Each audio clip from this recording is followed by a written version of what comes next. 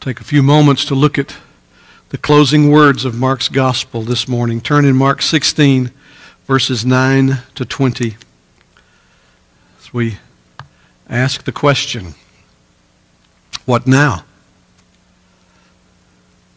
What now? That question is provoked by the words, words of verse 19, so then. What now? Mark 16, 19, and 20. If you'd stand with me, I hope you found that in your Bibles. If you don't have a Bible, we're going to put the text on the screen for you. But we really want you to have your own Bible. So if you'd see us after the service, we'll take care of that for you. Mark's closing words, this, this gospel that we've been studying through for some time now, his closing words. So then, the Lord Jesus, after he had spoken to them, was taken up into heaven and sat down at the right hand of God. And they went out and preached everywhere, while the Lord worked with them and confirmed the message by accompanying signs. This is the inerrant, infallible, all sufficient Word of God. May the Lord use it in our lives this morning to just further stir us, provoking us to love and good works as we've celebrated together this Lord's Supper. And in doing that, saying, I belong to Jesus. Jesus belongs to me. I'm not my own. I'm His. He's bought me with the price of His blood. Thank you. Please be seated. Well, we styled this study when we began it, The Gospel in Action. Not, not the gospel of inaction, the gospel in action. Because the language calls for that. But not only that, the nature of the gospel calls for that.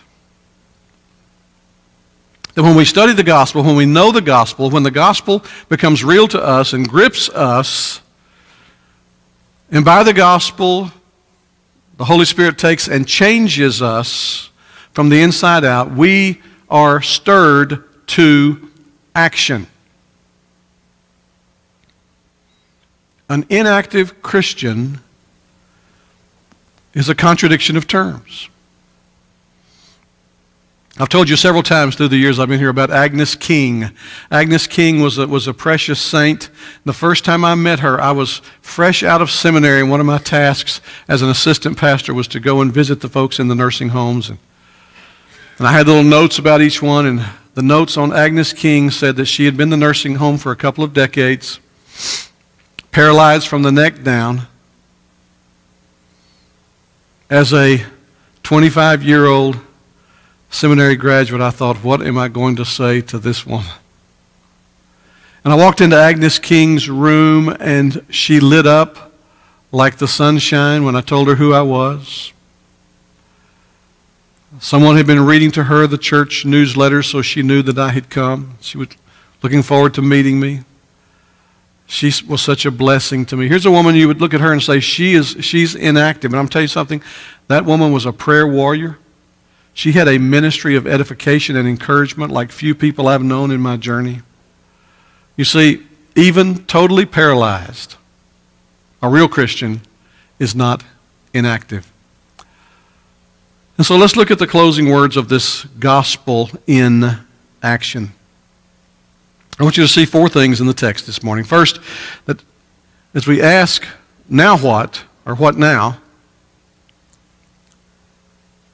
after the Lord Jesus has spoken. What now? After he's, after he's taught. What now for us?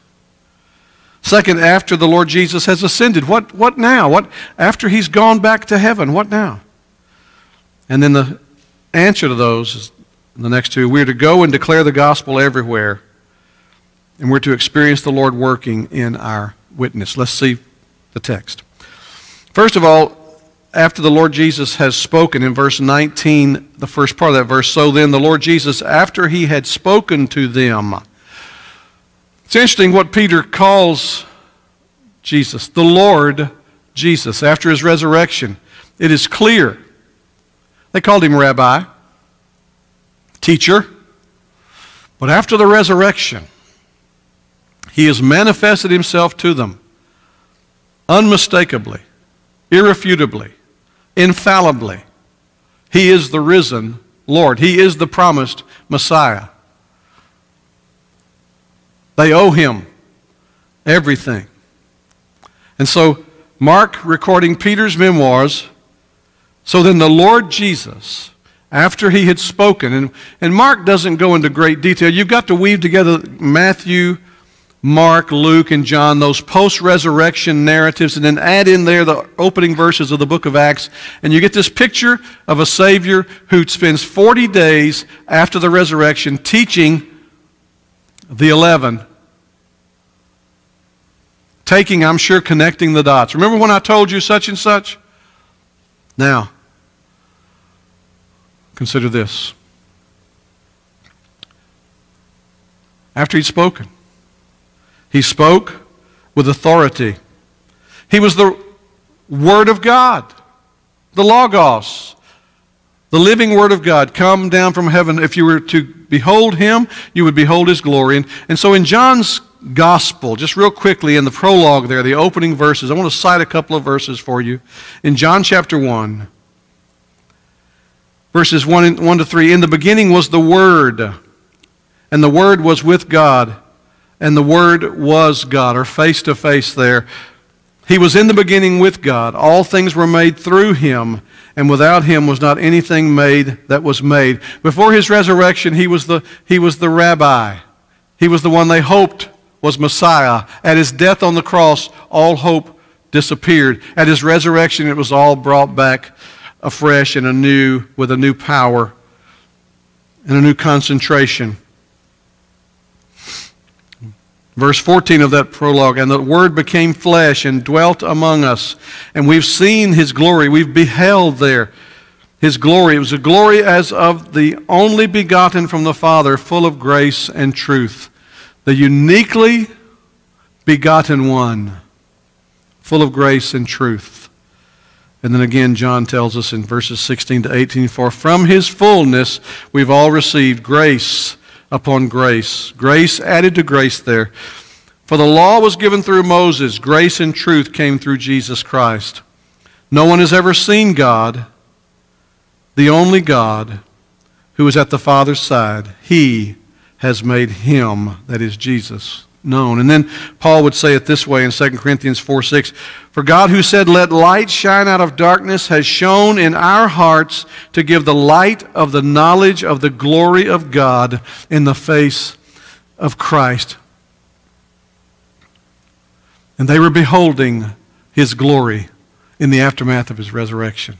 The Lord spoke. And then finally, the Hebrew the writer of the Hebrew letter to the Hebrew Christians, or the sermon really to the Hebrew Christians, long ago, at many times and in many ways, God spoke to our fathers by the prophets, but in these last days, He has spoken to us by His Son, whom He appointed the heir of all things, through whom also He created the world. He is the radiance of the glory of God and the exact imprint of His nature and he upholds the universe by the word of his power. And after making purification for sins, he sat down at the right hand of the majesty on high. Christ, the living word, speaks the written word. He alone is the revelation of God. God does not speak, think about it, he does not speak to men nor will he be spoken to by anyone except through the Lord Jesus Christ, the mediator of the new covenant, the God man.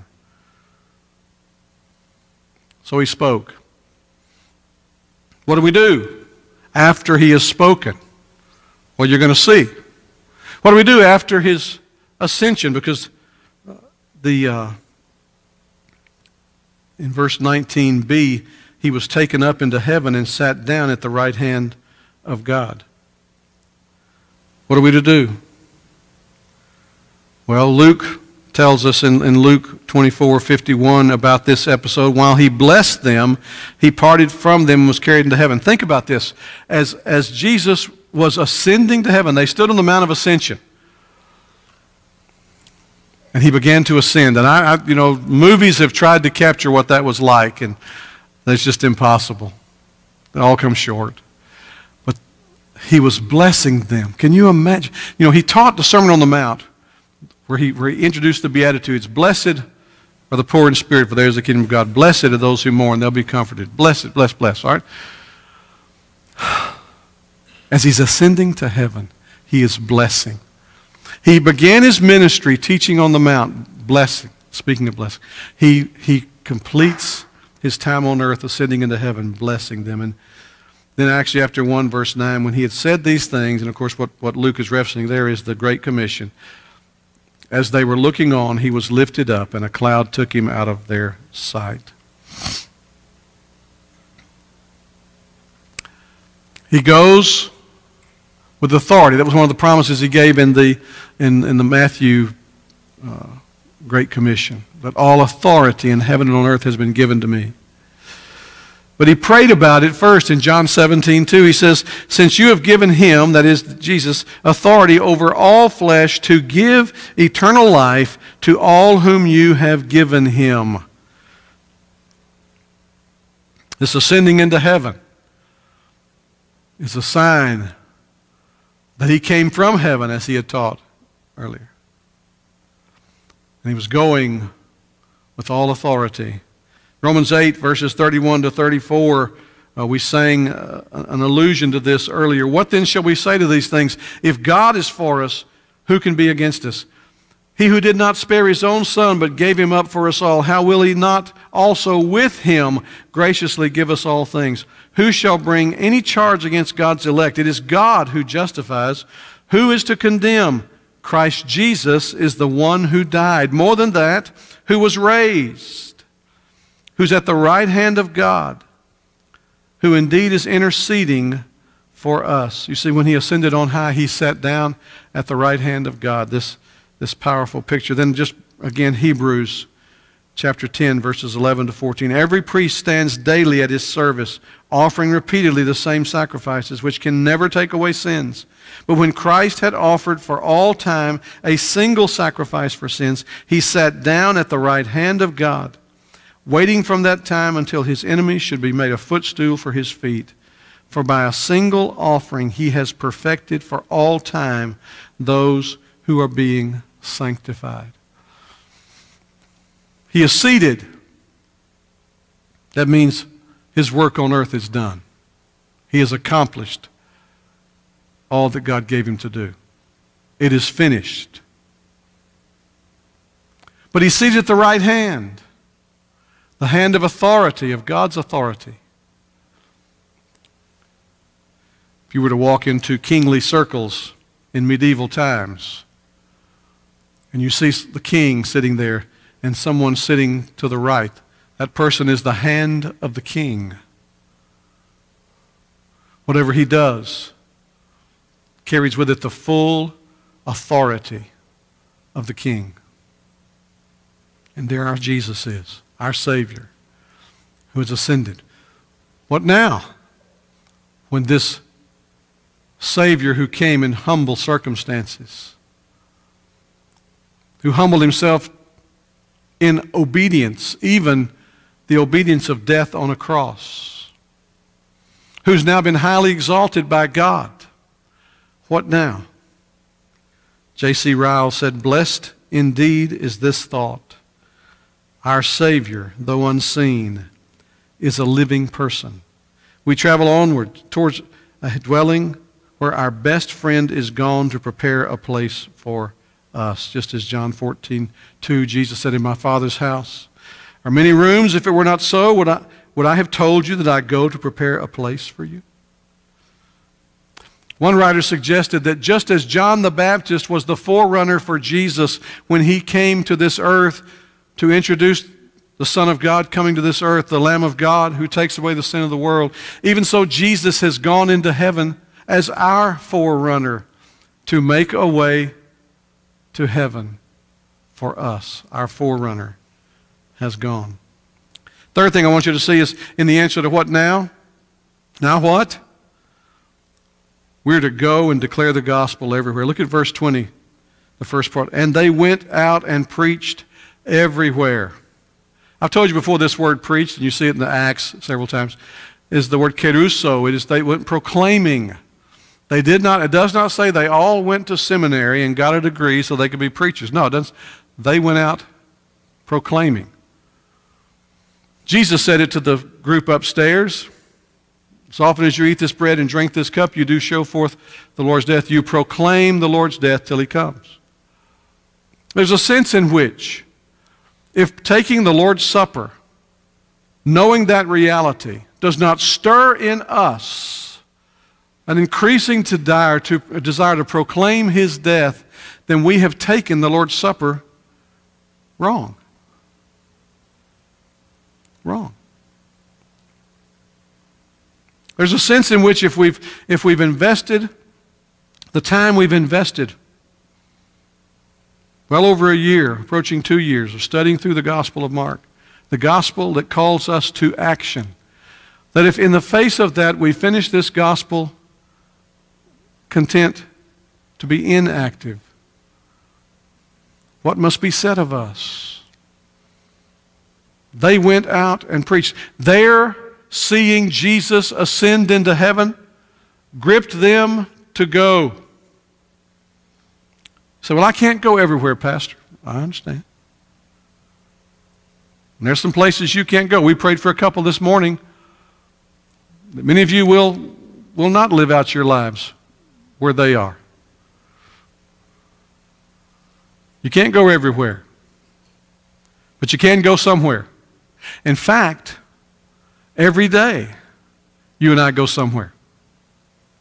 Every day. Are we, wherever we go, proclaiming the gospel, the good news? They preached Christ. Lord willing, we're going to begin next Sunday.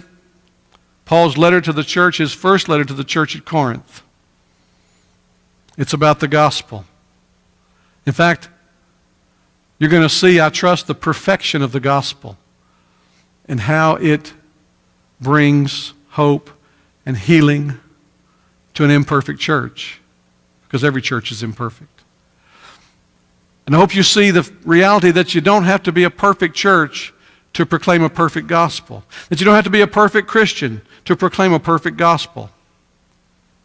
So you simply have to be faithful. And these folks were faithful. Remember, Paul says on the Mount of Ascension there were over 500 brethren who saw him at one time. And when he writes the end of 1 Corinthians, he said, most of these are alive today. If you want, if you want to talk to them as eyewitnesses, you can contact most of these. they went out and preached. You and I must as well. We must go. We do go. It'd be interesting sometimes to just be able to collect. I don't know how we do it. To collect from the time we meet on the Lord's Day to the time we see one another on the next Lord's Day, where every individual went during the week. How many places we go. You say, well, I go some of those same places every day. What a great opportunity for a foothold, for long term cultivation,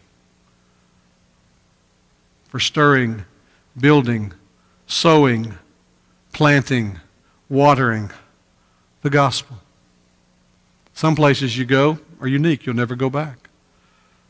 But you see, if we really believe that this culture is getting darker and darker, and if you're, if you're listening to radio, if you're looking at the newspaper, if you're watching the news, you have got to believe it's getting darker and darker and darker civility, common civility, has bit the dust in this culture.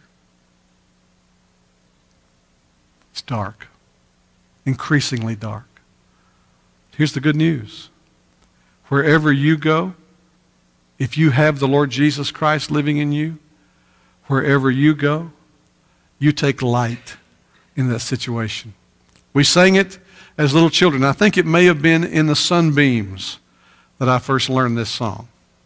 This little light of mine, I'm going to let it shine. This little light of mine, I'm going to let it shine. this little light of mine, I'm going to let it shine. Let it shine, let it shine, let it shine. Hide it under a bushel? No. I'm going to let it shine. Hide it under a bushel? No. I'm going to let it shine. I won't let Satan blow it out. I'm going to let it shine. Remember that song? Some of us cut our teeth on that. You go. Say, well, the world is a dark place. Oh, it is. It's distressing to see what's become of America. But the good news is, where you and I go, there's light. And the even better news is, light has never shut out darkness. Never has, never will. All it takes for this culture to become increasingly dark and darker and darker is for us to hide our little light under a bushel. But take the bushel off, light. They went everywhere. Last thing I want you to see is that we are to experience the Lord working in our witness. Verse 20, the second part. While the Lord worked with them and confirmed the message by accompanying signs. Are you seeing the Lord work in your witness? I'll tell you what happens. Sometimes you go through a season where you don't, where you don't see the power of God in the gospel injecting itself in the lives of those you encounter, and you begin to doubt. You begin to give up hope. You begin to anticipate that nothing will happen. And guess what? When it comes to the gospel, if you think nothing will happen, nothing will happen. Because you see, we're taught in, in James that you have not because you ask not. Yet Jesus promised, keep on knocking, will be opened. Keep on asking, it'll be given. Keep on seeking, you will find. This instant society, instant coffee, instant tea, uh, fast food, it's, it's, it's made us accustomed to the quick fix. It's not Jesus' way. Go. Lord, work in me. We read from Philippians. Work out your salvation or work at your salvation with fear and trembling, for it is God who is working in you to will and to do of his good pleasure. I ask myself, I ask you, are you experiencing the working of God in your witness?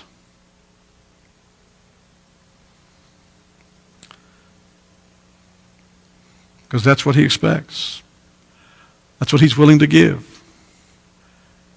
If we're not witnessing, there'll be no working. Just, just, just plain as day. We said to you when, we, when 2017 dawned that we should always be ready to give an answer to anyone who would ask us why we have hope. You have people asking you, what do you think about all this stuff going on? What about what our new president's doing? What about how people are responding to that? Well, it looks pretty bleak, except for this. And you can give them a reason, but you have hope. When a lot of people are crying doom and gloom, a lot of people are pointing the fingers. No. Are you experiencing God working in your witness? Do you want that? Do you cry for that? Do you, oh God, the gospel is a message that calls us to action. We said that when we began this study. And because we're creatures of habit, and we talked about that first of the year that we need to cultivate new habits, some, some vital behaviors as disciples who want to make disciples. And we talked about that being willing to, to intentionally look for three people to bless during the week, uh, one of whom is not a member of the church that you're a member of to be willing to take time to eat, and that doesn't mean a full seven course meal. It can mean it can mean coffee. It can mean dessert. It can mean a snack. It, it, can, it can mean an apple. It can mean anything just to sit down and share time with people. Three people a week. To learn to listen, to be quiet, to be still, to listen to the Lord. And I promise you, as we listen to the Lord, you're going to hear him say, Go, my child.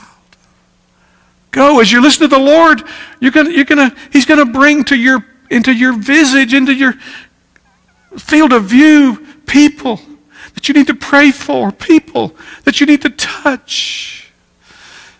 He's going to show you, as He shows me, remaining sin, sinful habits that are, that are hindering and need to be slain, need an axe put to the root. To listen, to learn more of Christ. My evangelist professor said in seminary if we would talk more to God, about men and women and boys and girls whom we want to see saved, he said we cannot help but talk more to those men and women and boys and girls. And when we're not doing that, I think it begs the question are we talking to God about them? To learn to be more like Christ and to realize that we're sent and to track that. I'm still struggling with journaling, by the way. I'm horrible at journaling. But God be my helper. I'm going to get good. I'm, I'm, I'm going to have a journal before I go to heaven. I'm going to do that. To jot down, how, how, did I, how did I make a kingdom impact this week? Who, who did I touch this week? How's so and so that I'm praying for? What? Who did I bless this week? Am I, am I living sent? Go. How am I seeing God work in my witness? If you track that, vital behaviors, cultivating habits, you'll learn some things about yourself. Some things you'll be provoked to bless God for. Some things you'll repent for.